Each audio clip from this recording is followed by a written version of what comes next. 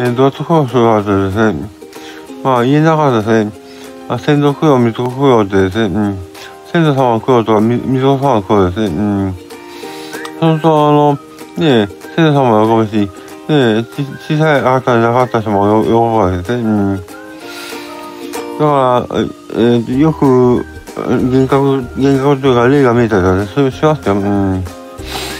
うん、で、えっ、と、えー、よ、法は解きませんけどね、うん。説法はできませんけど、そうですね、うん。割と言ったら、うん、空はね、うん。今のとこ、今のとこ、状況の開発はできませんね、うん。あと、見たま、見たま寿司してくれるとかですね、うん。そうね、うん。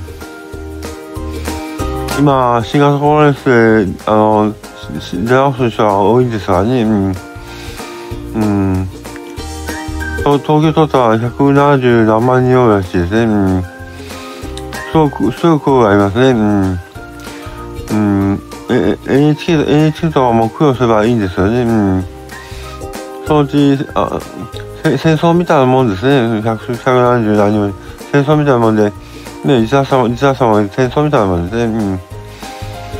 うん、霊界の、霊界の先生の丹波津田大霊界とかですね、あのー、読売上の奇跡の輝きとかですね、霊界を紹介した映画もありますけどね、うん。